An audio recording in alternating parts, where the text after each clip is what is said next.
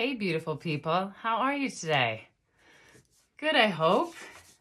Welcome to another video. I hope everything in your life is going well, and I hope you're ready to grow with me. My name's Sage. I'm a growth coach, and we're going to talk about a really good way to level up and to grow by getting better at receiving constructive feedback.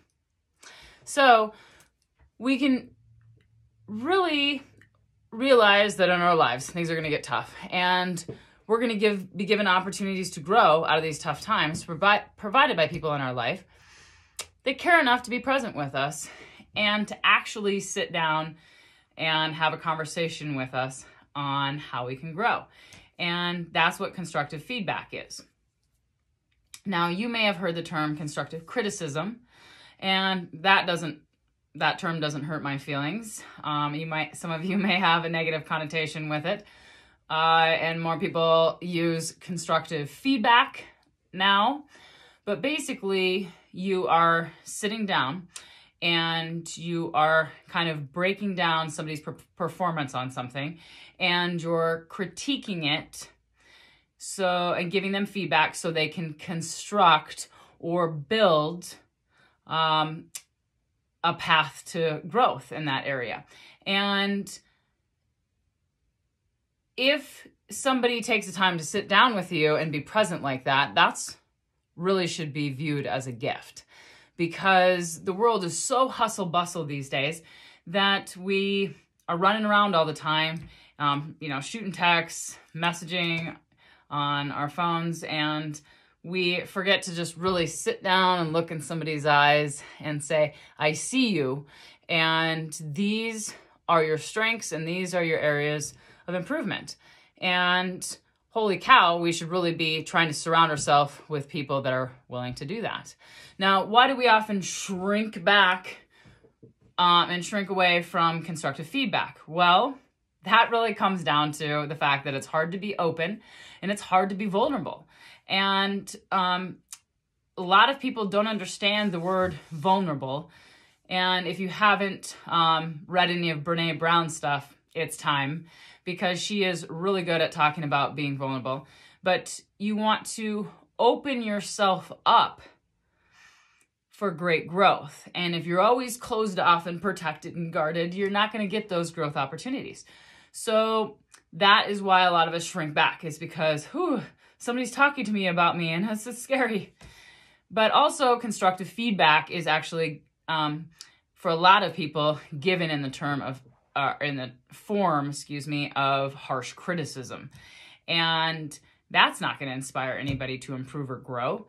So we need to be careful that, you know, us as humans aren't sitting down to have a conversation with somebody when we're at our, like our wits end because then that's when you're doing constructive criticism and you're just chomping on people on how they're doing and all that's going to do is make people shrink back and put up a defense wall, and there's going to be no growth that happens there. So, a lot of it comes down to choice. You have to choose to sit down and be present with people and have those kind of conversations when you're calm and cool and collected and centered and you're speaking from your heart. Then that information can be well received.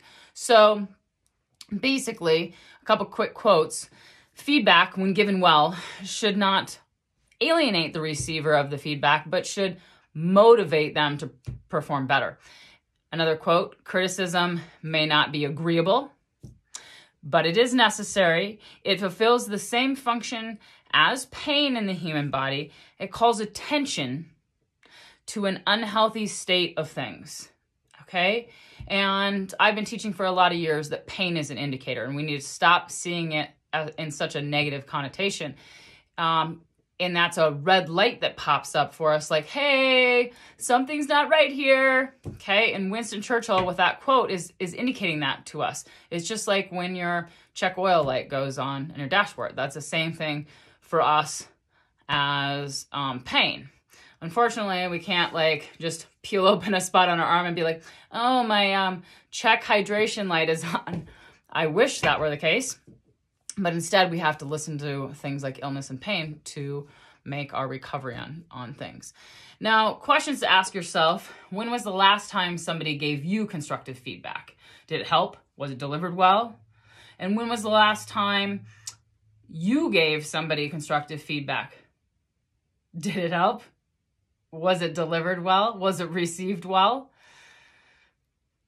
You might want to ask those questions of yourself before you um, you you know level up your game with this constructive feedback. now, here's three ways to become more open and receptive to feedback. So first off, you got to get better at seeing the whole big picture. When we're living our lives and and things get stressful, guess what we do? Instead of seeing the whole picture, we start to just do this, and then pretty soon we're looking through this and we're just going down this narrow tunnel, and we can't see, you know, the whole big picture. And the whole big picture might provide us a growth opportunity. Um, because we might be looking from such a limited view that we're missing the growth here. There also might be another perspective because hold your hats, folks. Not everything you believe is correct. Okay. Um, we have to be open to that as humans. Like, oh my God, maybe this thing I've believed from 20 for 20 years is absolutely false. Okay. And maybe the universe is trying to tell you it's time to increase your knowledge, right? And maybe the universe has more in store for you. So you got to see the big picture, okay? So here's number two have grace. That's how you can be more open. We're, we're just all doing the best we can until we learn and know better. And even if you're not ready for that constructive feedback at that very minute, and you can only really receive things when you're ready. Okay? If you're not ready at that minute, well, just plant a little seed in the back of your mind and and have gratitude that somebody actually took time out of your day their day to sit down with you and have this conversation because most people are unwilling to do that. So surround yourself with people that are because then you're all going to grow together.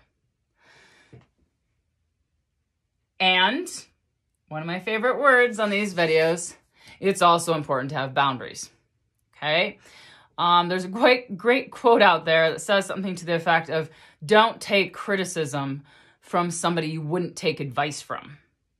Okay? If somebody wants to sit down with you and have some constructive feedback and you think they're coming from a place of anger or jealousy or whatever the negative emotion is, then just sit there, nod your head, say thanks for your time, walk away and shake off that negative energy. Get it out of there. Okay? Have boundaries. Or don't answer the phone. Don't answer the text. You have a right to do that. You have a right to put those boundaries down. So have some grace, but with some firm boundaries. All right, third way to be more receptive and open to feedback is to absolutely show gratitude. Gratitude is so extremely powerful in all contexts but this is a big one. Like I said earlier, if somebody is willing to take time out of their day instead of just check out in front of their phone or be busy with something else in 10 directions, then thank them for that. Okay? How many times could you have helped somebody grow and you didn't sit down and do it? So, you know, be very grateful when somebody does. Um, and like I said, you you don't even have to be in line with the feedback at that moment, but maybe you will be 6 weeks from now. You don't know.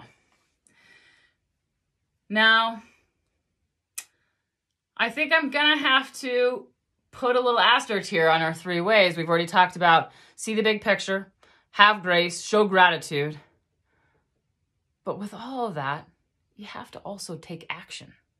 So we kind of have a fourth in here. Okay? If somebody gives you the great feedback, then actually go do something that shows that you heard them. Okay? And um, show them that you heard them. Okay. And that speaks, action speaks more volume than, oh, yeah, I'll take care of that. I'll do a better job at that. Okay. Go do it. And then come back and let's talk about it. Right. So keep that in mind. All right. See the big picture. Have some grace. Show some gratitude. And the asterisk to it all is you got to take some action. So circling around, on the value of constructive feedback. Remember, some of the best entrepreneurs in the world Um, I've read tons of articles on how they really surround themselves with people that question them and contradict them um, and really try and educate them of new ways of thinking and doing things. Because we learn from things different than us, not from always hearing the same little thing. And I think that's how a lot of celebrities crash is they build this circle around them with a bunch of yes people. Um, don't get me wrong, it's nice to have people that align with you. But if you're only surrounding yourself with yes people and nobody's ever actually telling you how you can improve, how are you going to get better? Thanks for growing with me today. You can find me on Facebook and on Instagram and on my website and a new channel on YouTube. So make sure you show up and continue to grow with me. Thanks, guys.